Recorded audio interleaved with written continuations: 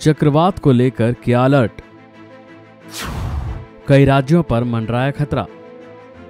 एक तरफ़ देश भर के राज्यों में मौसम का हाल बदला बदला नज़र आ रहा है।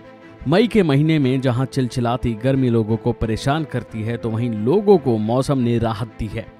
लेकिन इस बीच मौसम विभाग ने तूफ़ान को लेकर अलर्ट जारी किया है, क्योंकि एक भयंकर चक्रवात आने वाला है, जो बड़ी तबाही मचा सकता है। इस चक्रवात का नाम है साइक्लोन मोचा। बताया जा रहा है कि बंगाल के दक्षिणी पूर्वी में एक लो प्रेशर एरिया डेवलप हो रहा है, जिसके तूफ़ान में बदलने की संभावना है। मौसम विभाग ने कहा है कि ये साइक्लोन सर्कुलेशन 6 मई को भी बन सकता है, जो कि 11 मई तक सक्रिय तूफ़ान में बदल सकता है। अगर ऐसा हुआ तो निश्चित तौर पर यह चक्रवात शक्तिशाली होगा। जानकारी के मुताबिक भारतीय मौसम विभाग यानी आईएमडी ने इसे लेकर अलर्ट जारी कर दिया है। अभी इस चक्रवाती तूफ़ान के रास्ते के बारे में जानकारी नहीं है। इसके बावजूद एक्सपर्ट मान रहे हैं कि ये तूफ़ान तबाही मचा सकता है। ये 2022 में आई चक्रवाती तूफ़ान आसानी जैसा हो सकता है। इस साइक्लोन का असर सबसे ज़्यादा पश्चिम बंगाल और उड़ीसा के तटियों पर देखा जाएगा, जिससे निपटने के लिए ओडिशा सरकार ने अभी से तैयारियाँ शुरू कर दी हैं। सीएम नवीन पटनायक ने भी इस बारे में मीटिंग की है। और सारे अधिकारियों को अलर्ट पर रहने के लिए भी कह दिया है। तो वहीं आईएमडी के अलर्ट के मुताबिक दक्षिण पूर्वी बंगाल की खाड़ी पर 6 मई को चक्रवात डेवलप हो सकता है। 7 मई को यहाँ हवा के कम दबाव का क्षेत्र बनेगा। 8 मई को यहाँ उत्तर दिशा में मध्यम बंगाल की खाड़ी की तरफ़ बढ़ते हुए चक्रवाती तूफ़ान में बदल सकता है।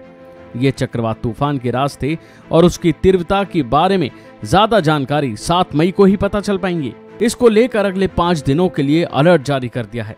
सात और आठ मई को अंडमान निकोबार में ज़्यादातर जगह हल्की बारिश होगी। कुछ जगहों पर तेज बारिश होने की संभावना है। 40-50 किलोमीटर प्रति घंटे की रफ्तार से तेज हवाएँ चल सकती हैं।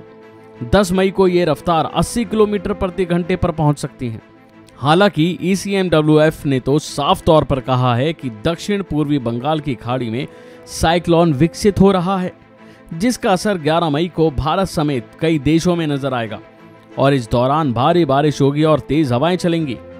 चक्रवात काफ़ी गंभीर होते हैं और जिस इलाके में आते हैं, वहाँ पर बहुत बारिश होती है और हवाओं की गति इतनी तेज होती है कि वो इंसान को भी अपने साथ उड़ा ले जाती हैं। तो वहीं आपको ये बता दें कि सात मई से मछुआरों, छोटे जहाज़, नावों और ट्रैवलर को दक्षिण पूर्वी बंगाल की खाड़ी से दूर रहने की सलाह दी गई है। जो लोग यहाँ हैं वो सात मई से पहले सुरक्षित जगहों पर पहुँच जाएँ। टूरिज़्म, शिपिंग और अन्य गतिविधियों को 8 से 11 मई तक रेगुलेट करने की उन्हें सलाह दी गई है। अभी के लिए फ़िलहाल इतना ही। खबरों में बने रहने के लिए देखते रहिए वन इंडिया हिंदी।